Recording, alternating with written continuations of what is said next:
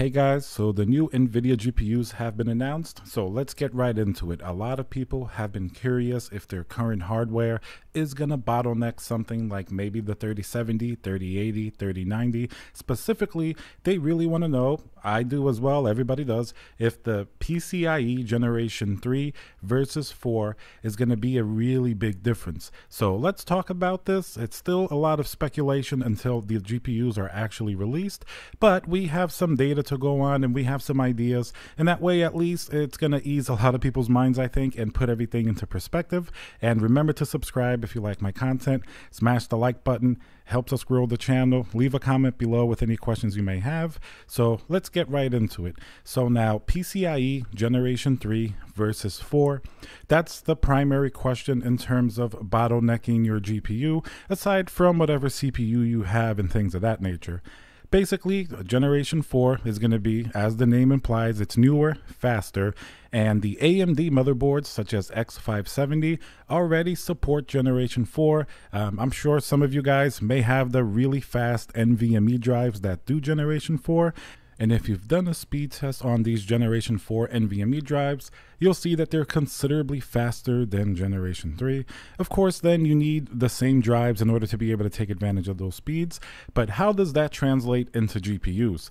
Currently, as it stands, even if you have an AMD motherboard with Generation 4, send something like the 2080 Ti, which is one of the most powerful GPUs, it can't really take advantage of Generation 4. It's not really designed for that.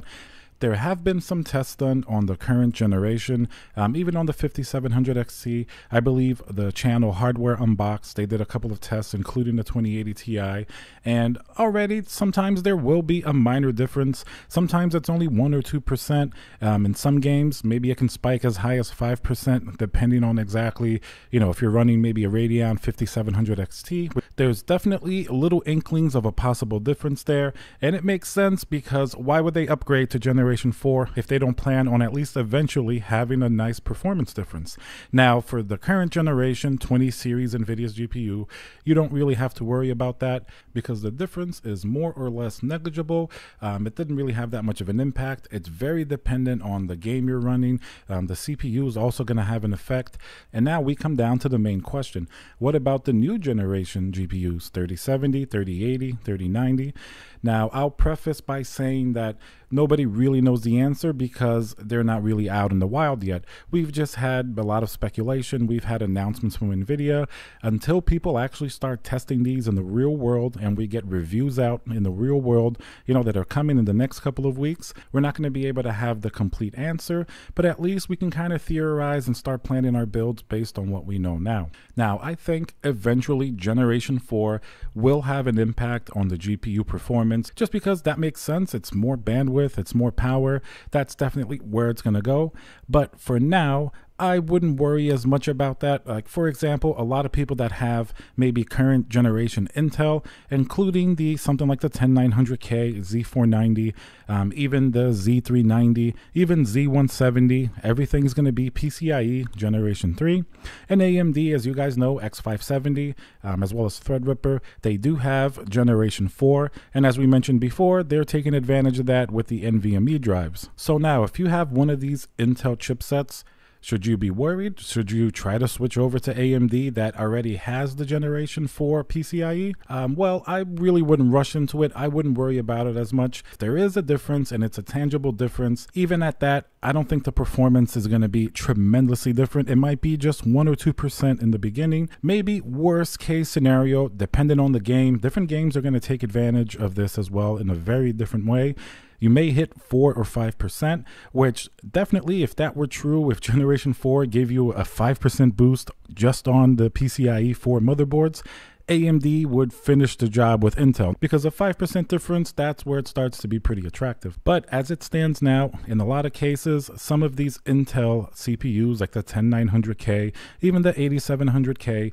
they can clock pretty well in their terms of like single core performance, and that's still very important for gaming. So in a lot of cases, if you have a very high clocking Intel CPU, even if it's a Z490, Z390, a little bit older, whatever advantage PCIe Generation 4 4 may have in the beginning, But eventually, as that matures, of course, Generation 4 will give you more performance as different drivers are optimized. Maybe games take advantage of it more. Hardware comes out that takes advantage of it. So if you're planning on getting something like the 370 or the 380, I wouldn't necessarily go crazy and upgrade everything at once. Try it first in your system, wait until these GPUs are released, test it in your system, look at the different reviews and benchmarks that are coming out. Let's see if Generation 4 is already really having any type of impact or a difference.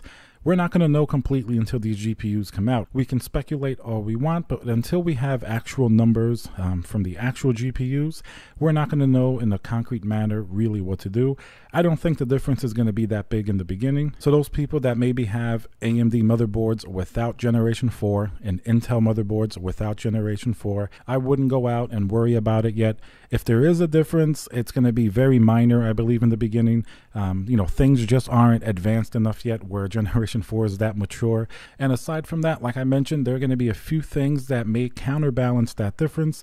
Let's say if you have an X570 with Generation 4 and a 3070, maybe that generation 4 is going to give you a couple of percentage points better performance in a particular game but it's possible if you have let's say an intel 10900k even though it's on generation 3, maybe that processor clocking higher than whatever Ryzen processor you have on generation 4. It may be a little bit of a wash if it's a 1 or 2% difference. And keep in mind, if you have an existing Z490 motherboard, eventually Intel, with their 11th generation CPUs, which they're going to call Rocket Lake, they will also support PCIe generation 4. So at least that's sort of what the rumors are.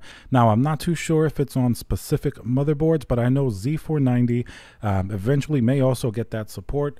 So if you have an Intel Z490, while the current generation, 10th generation, like the 10900K, um, won't take advantage of PCIe Generation 4, there's a good chance that the next release, which will also likely work on Z490, will take advantage. So if you have that particular motherboard, then I think you might be a little bit safer. But of course, something like Z390 um, or older, if you have a 7700K, those are not going to get the Gen 4 support. Then it's going to come down to a question how good is PCIe Generation 4?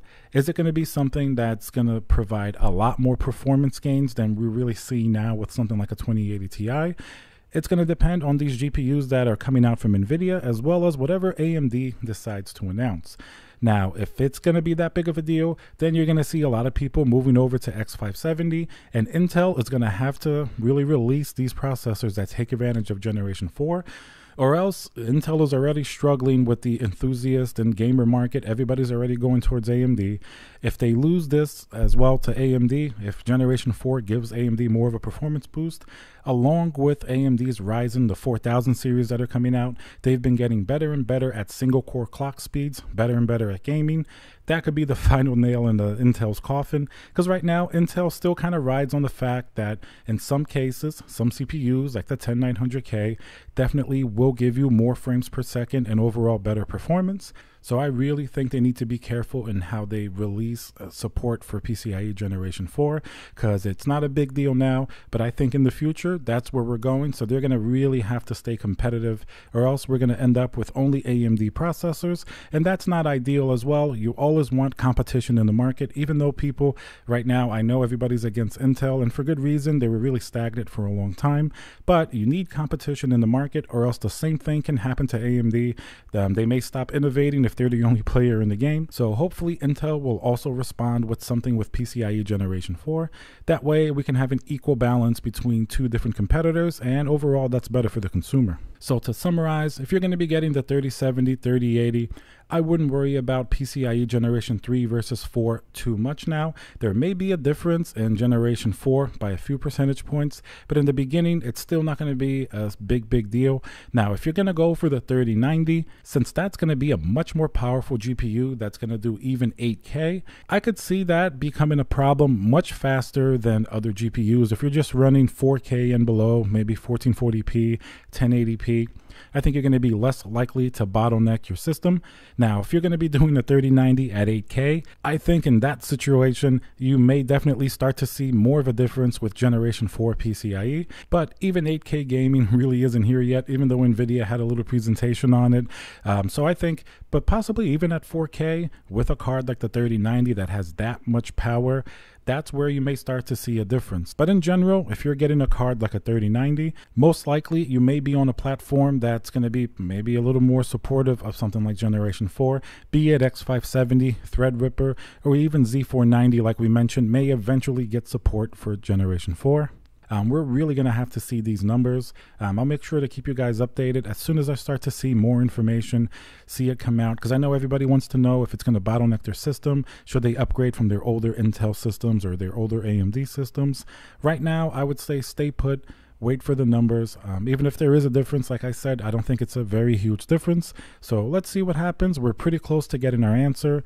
Um, we'll know a little bit better in the coming weeks as these cards release.